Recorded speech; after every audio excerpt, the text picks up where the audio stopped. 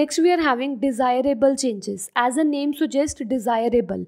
Desirable changes means the changes which are useful to us that are known as desirable changes. For example, ripening of fruits. Whenever we are just uh, having some kind of seed and that seed converts into a fruits, vegetables, that change is very good for us like small seed converts into this kind of vegetable. So that is good for us that is desirable for us. So that change is a desirable change. Like second example is drying of cloths. Now like for example your mother have washed that these kind of clothes and now this is drying drying of clothes takes place in the atmosphere. So it is desirable okay? So we need to be wet drying of these all clothes so that is a desirable change.